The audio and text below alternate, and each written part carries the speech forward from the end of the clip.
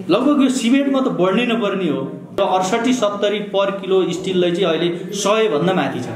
सिमेन्टमा पनि लगभग पचास साठी रुपियाँ बढिराखेको अवस्था छ। उहाँहरूले चाहिँ अन्तर्राष्ट्रिय बजारको हवाला दिँदै यति बढ्यो उति बढ्यो भनेर चाहिँ उहाँहरूले धेरै बढाउने काम भएको छ।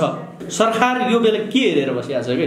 यो चाहिँ तत्काल नेपाल सरकारले सूक्ष्म अध्ययन गरेर यसको कन्ट्रोल गर्नुपर्ने भन्ने माग हो। यो जस्तै हाम्रो जुन यो निर्माण क्षेत्रको जुन अहिले अलिकति कोभिड पछाडि अलिकति यो चाहिँ विकास निर्माणको कामहरू अनि घर निर्माणको कामहरू जुन भइरहेको छ यसमा चाहिँ फेरि उद्योगीहरूले चलाइखे गरेर चाहिँ यो अलिकति रेट बढाउने मूल्य अस्वाभाविक रूपमा मूल्य वृद्धि गर्ने काम गरेको छ होइन?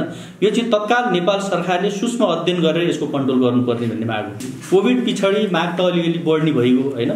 अब घर बनाउनु पर्ने एउटा विकास निर्माण पनि एउटा समृद्ध राष्ट्र सुखी नेपाली एउटा जुन नेपाल सरकारको नारा छ त्यो नारालाई टेवा गर्नको लागि पनि एउटा विकास निर्माण त द्रुत गतिमा अगाडि बढ्ने भइगयो त्यसले गर्दाखेरि उद्योगीहरूले चाहिँ अहिले यो चाहिँ कुनै अन्तर्राष्ट्रिय बजारमा चाहिँ यस्तो रेट बढ्यो भन्ने हिसाबले होइन थोरै बढ्छ तर नेपालमा चाहिँ एकदम धेरै होइन?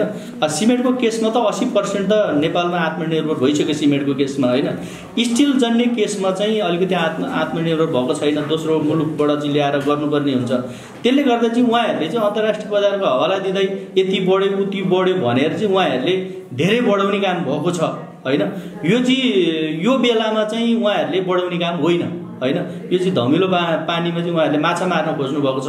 यसको निगरानी चाहिँ नेपाल सरकारले सूक्ष्म ढङ्गले छिटोभन्दा छिटो गर्नुपर्छ भन्ने हाम्रो माग व्यवसायीहरू त हामी त तपाईँको बिचमा सेवासहित नाफा खाने व्यक्ति हो हामी व्यापारीहरू होइन? जुन बिस पर्सेन्ट उद्योगीहरू जुन छन् होइन? उहाँहरूले के किसिमले बढाउनु भएको त त्यो कुरो त नेपाल सरकारले खोज्नु पऱ्यो नि त। होइन? मिडियाहरू पनि आइरहेको कुरो छ। हामीले पनि मिडियामा भनिरहेको कुरा छ। त्यसले गर्दा चाहिँ यो नेपाल सरकारले सूक्ष्म ढङ्गले अध्ययन गर्नुपर्छ र यो साथसाथै गुणस्तरको पनि एउटा गुणस्तर विभाग छ। यो गुणस्तर विभागले नि यो छड्के चेक गरेर हुन्छ के गरेर हुन्छ यो गुणस्तर एउटा मापन गर्ने चाहिँ ल्याउनुपर्छ जस्तो लाग्छ। लगभग यो सिमेन्टमा त बढ्नै नपर्ने हो। होइन? यो सिमेन्टमा त बढ्नै पर्दैन। सिमेन्टमा डन्डी स्टिल जन्नेमा अलिअलि बढ्नुपर्ने हो उहाँहरूले चाहिँ जस्तै तपाईँको अडसठी सत्तरी पर किलो स्टिललाई चाहिँ अहिले सयभन्दा माथि छ। होइन? सिमेन्टमा पनि लगभग पचास साठी रुपियाँ बढिराखेको अवस्था छ। होइन? सरकार यो बेला के हेरेर बसिरहेको छ कि? होइन? विकास निर्माणको काम सुचारू हुँदा घर निर्माणको काम सुचारू हुँदा सरकारले झन् सपोर्ट गर्ने ठाउँमा होइन? सरकार झन् यो बेला निधाएर बसेको छ होइन? यो सरकारले चाहिँ हामी झर्झक्याउन चाहन्छौँ उठाउन चाहन्छौँ।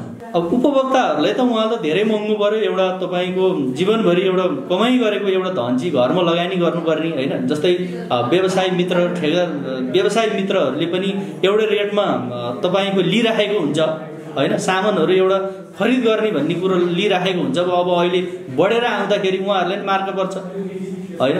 त्यसले गर्दाखेरि कामहरू कसरी क्वालिटीको हुन्छ नि त? होइन?